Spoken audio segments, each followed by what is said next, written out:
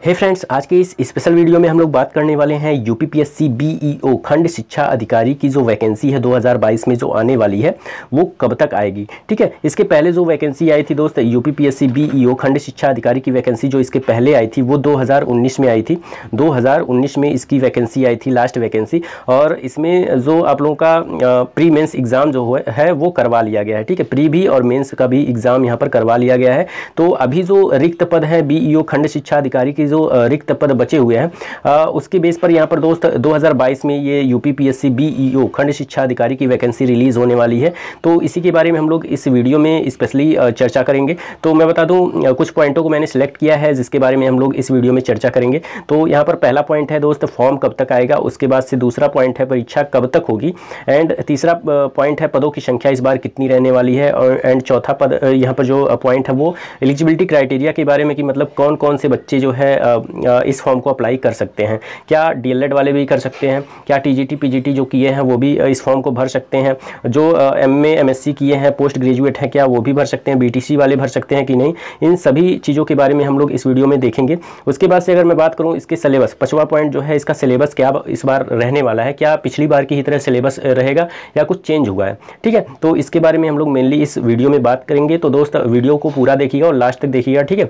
तो चलिए एक एक कर, करके हम लोग जान लेते हैं तो मैं बता दूँ दोस्त, आप लोगों का जो फॉर्म है, ये फॉर्म आप लोगों का अगस्त अगस्त माह आप लोगों का चल रहा है, ठीक है? तो अगस्त माह के लास्ट वीक तक लास्ट वीक तक आप लोगों को इसका फॉर्म देखने को मिल जाएगा, ठीक है? इसकी वैकेंसी देखने को मिल जाएगी। उसके बाद से अगर मैं बात करूँ यहाँ पर दोस्त, परीक्षा कब तक इसकी होगी? तो परीक्षा आप लोगों का दिसंबर यहाँ पर दिसंबर 2022 दिसंबर 2022 की आप लोगों के मिड दिसंबर या तो last December, last week of दिसंबर 2022 तक इसका जो है परीक्षा एग्ज़ाम है वो कंडक्ट करवा लिया जाएगा।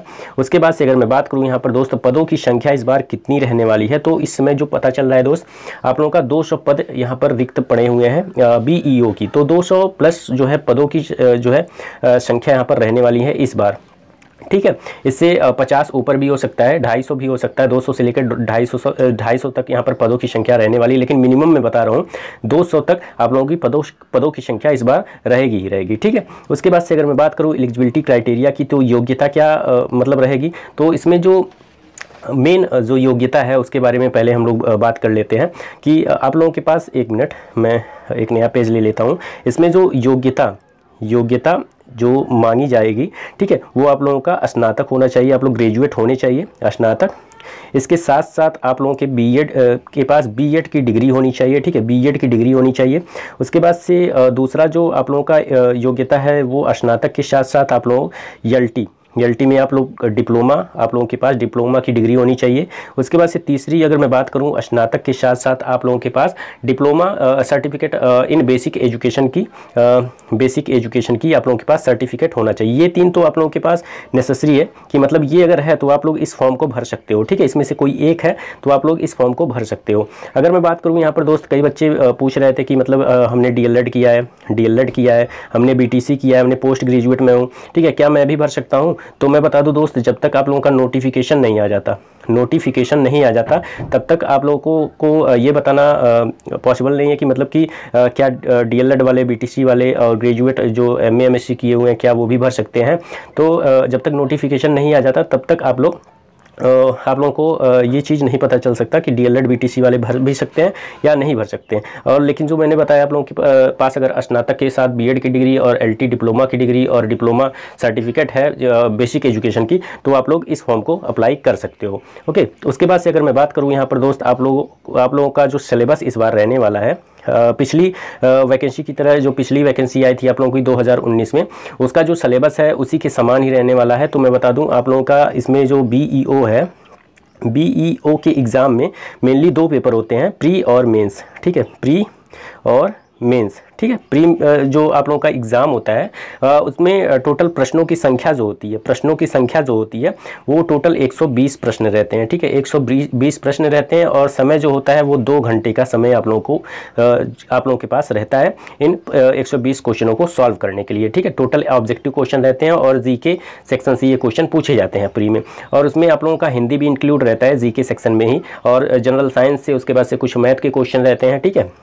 और आप लोगों की polity, history geography economics economics current affair static GK और आप लोगों का जनरल साइंस इनसे भी क्वेश्चन रहता है आप लोगों के प्री एग्ज़ाम में। उसके बाद से अगर मैं बात करूँ यहाँ पर दोस्त मेंस के एग्ज़ाम में तो मेंस के एग्ज़ाम में आप लोगों का क्या रहता है?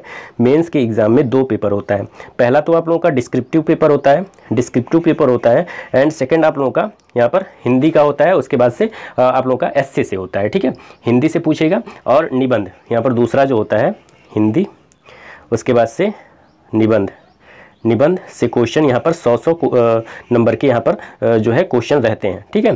तो यहाँ पर टोटल आप लोगों को तीन घंटे का टाइम मिलता है मेंस एग्ज़ाम के लिए। तो यहाँ पर मेंस एग्ज़ाम में ये भी आप लोगों का जो है ये 200 नंबर का। यहाँ पर 200 एक मिनट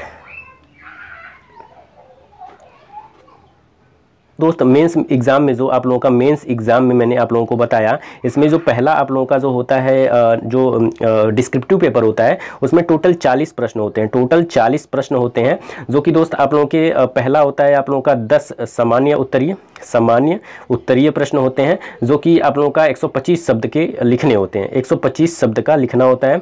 उसके बाद से दूसरा अगर मैं बात करूँ, यहाँ पर दोस्त 10 लघु लघु उत्तरीय प्रश्न होते हैं। लघु उत्तरीय प्रश्न, इसमें 50 शब्द लिखने होते हैं, जो कि दोस्त, प्रत्येक शब्द छः अंक के होते हैं, ठीक है?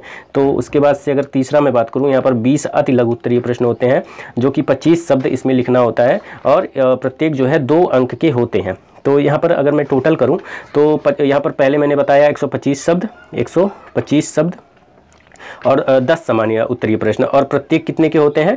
तो प्रत्येक जो आप लोगों के प्रश्न होते हैं, वो दस नंबर के होते हैं। और टोटल दस सामान्य उत्तरीय प्रश्न होते हैं तो दस दहियों में यहाँ पर सौ क्वेश्चन ये हो गया।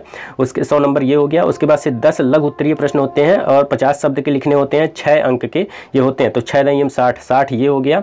उसके बाद से आप लोगों का बीस अति लघु उत्तरीय प्रश्न होता है, जो पच्चीस शब्द के लिखने होते हैं और प्रत्येक प्रश्न दो अंक का होता है।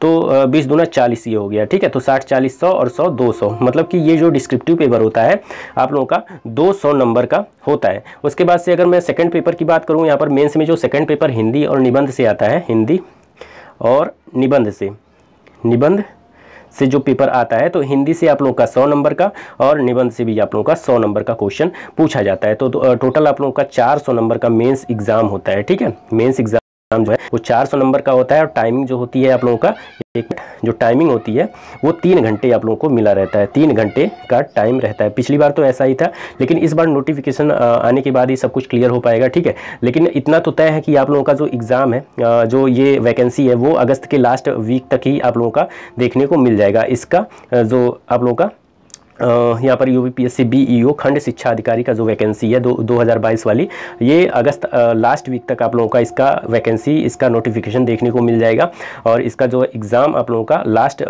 दिसंबर जो है मिड दिसंबर या लास्ट दिसंबर 2022 तक इसका एग्ज़ाम कंडक्ट करवा लिया जाएगा, ठीक है? तो आप लोग अगर तैयारी आप लोग इस फॉर्म को अप्लाई करना चाहते हो, इसके लिए आप लोग इंटरेस्टेड हो तो आप लोग अभी से ही इसकी तैयारी स्टार्ट कर दीजिए, ठीक है? अगर आप लोगों के पास एलिजिबिलिटी क्राइटेरिया को आप फुलफिल कर रहे हो तो आप लोग अभी से ही इसकी तैयारी स्टार्ट कर दीजिए। ओके? तो इसका मैं अलग से सिलेबस पर मतलब कि इसका क्या क्या सिलेबस रहेगा किस किस पोर्शन से कितने कितने नंबर के क्वेश्चन पूछे जाएँगे प्री में और मेंस में, वो सारी चीज़ों के बारे में मैं दोस्त अलग वीडियो में आप लोगों को बता दूँगा, ठीक है? तो आप उसी के अनुसार उसकी तैयारी कर सकते हो, ठीक है? तो उम्मीद करता हूँ दोस्त आप लोगों को ये वीडियो अच्छी लगी होगी। तो अगर वीडियो अच्छी लगी हो तो इस वीडियो को जितना हो सके अपने फ्रेंड सर्कल में शेयर करिए, ताकि उनको भी इस वीडियो का फ़ायदा मिल सके, ठीक है? तो चलिए मिलते हैं अगले वीडियो में, एक ऐसे इंटरेस्टिंग टॉपिक के साथ, एक ऐसे ही महत्वपूर्ण जानकारी के साथ, तब तक लिए दोस्त धन्यवाद।